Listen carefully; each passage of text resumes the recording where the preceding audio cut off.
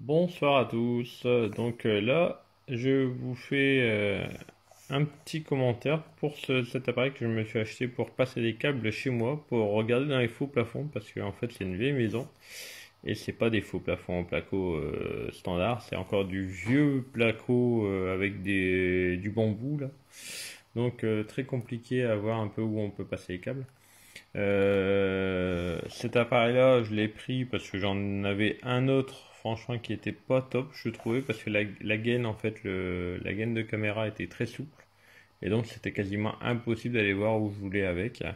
Et donc je voulais une gaine rigide avec un écran, et donc j'ai pris ce modèle.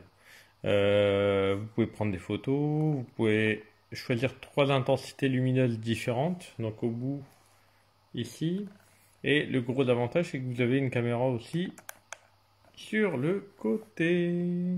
Donc là, vous voyez ici. Et donc, euh, ça, vous pouvez switcher entre les deux euh, simplement en appuyant sur un bouton. Et donc, franchement, ça c'est vraiment top parce que quand vous êtes buté contre quelque chose, l'avantage vous switchez de caméra et vous voyez au moins un, autre angle de vue que euh, bah, le mur que vous, dans lequel vous butez. Vous pouvez inverser l'image avec les flèches et vous pouvez changer de résolution avec le petit bouton de paramétrage. Vous pouvez prendre des photos et tout euh, directement sur carte euh, ici qui se met au dos de l'appareil. Et là, c'est le refil de batterie. Euh, le gros avantage aussi, c'est que vous avez un petit, une petite lumière sur le boîtier écran, donc qui vous permet aussi d'éclairer des fois dans les endroits où, où vous êtes sombre si vous voyez rien. Euh, la bonne prise en main aussi, parce que vous voyez ici c'est un peu renfoncé du côté des boutons, donc ça vous permet de bien euh, prendre en main l'appareil. Donc euh, vous voyez là, le seul bouton qui n'est pas accessible c'est pour allumer l'éclairage de la tablette.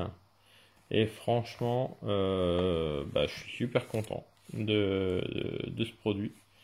Avec un rapport qualité-prix, je trouve très correct, en sachant qu'il est en 1080p et que vous avez 5 mètres de, de caméra en fait. Donc franchement, euh, voilà. La batterie elle tient super bien parce qu'il est arrivé euh, déjà chargé de base. Et euh, franchement, voilà. Allez, bonne soirée à tous.